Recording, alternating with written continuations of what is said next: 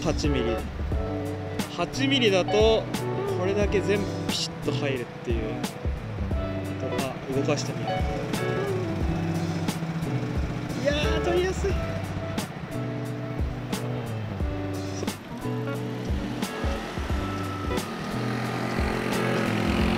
あとレンズが伸びないのいいですね。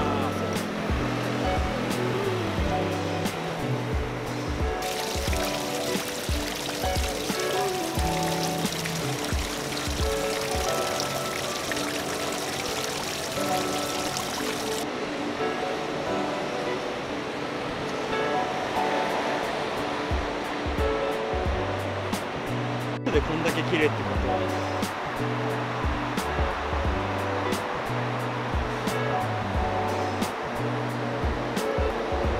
使いやすいですよ。F 値も2.8からで明るいし。うわ。これもう人間の目で見てるより綺麗みたいな感じしますね、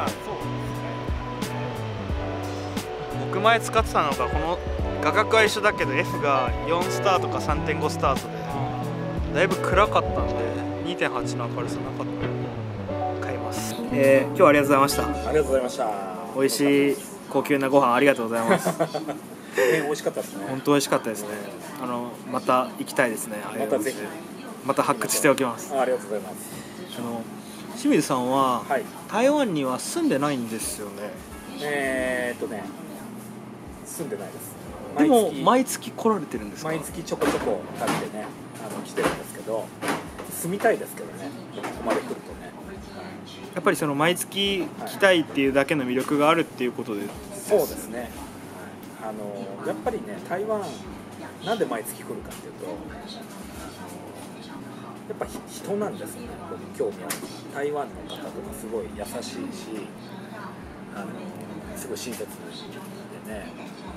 なんか日本に住んでて、なんかないものがあるっていうか台湾には。それで失われてたものがあるというか、それでなんかもうもう病気みたいなもんですね。なるほど。で実際に今台湾も台北だけじゃなくていろんなところ行かれてるじゃないですか、はい。YouTube 見ると。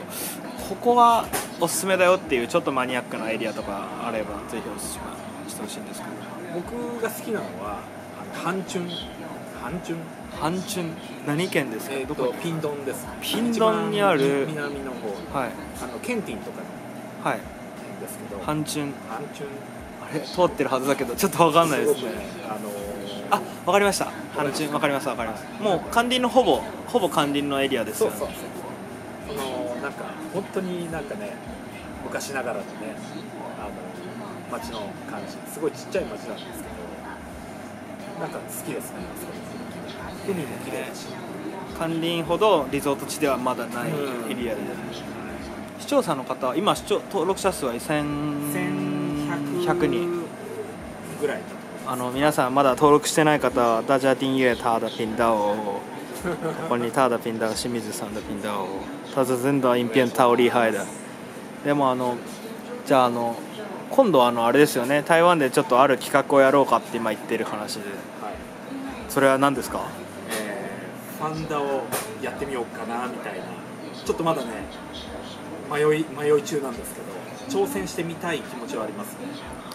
しかも歩きで。歩きで。トゥーボーファンダーっていう。ちょっとすごいですよそれ本当にやるなら。い見たいですけどなんせ40歳のおじさんなんで。やいやいやいやいや大丈夫かどうか心配なんですけどはい。いやでもやったら本当にもう台湾で一番有名な日本人みたいな。3円を超えますからね。あの本当にいろんなとこ見てみたいんでやってみたいですね。チャンスが徒歩で。はい。ぜひ頑張ってください。じゃあまたあの次回台湾に来た時はよろしくお願いしまあすぜひまた。見 に行きましょう。はい。それではありがとうございました。ありがとうございます